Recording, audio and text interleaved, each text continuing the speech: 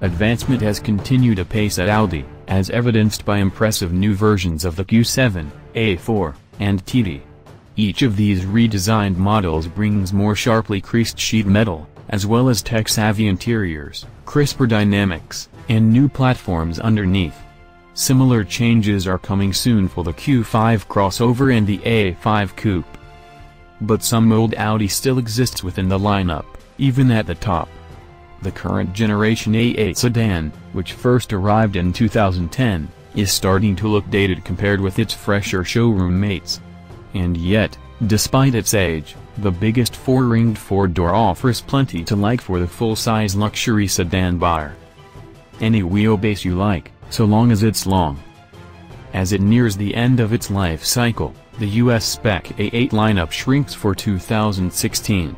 The short wheelbase version is gone, as is the ignominious TDI diesel, for now, at least, leaving only the long wheelbase A8L available with a 6, 8, or 12-cylinder engine.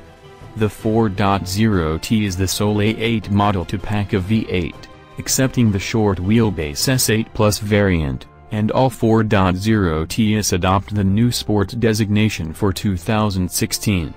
That means slightly more aggressive front and rear fascias and a 15 horsepower bump for the 4.0-liter twin-turbo V8.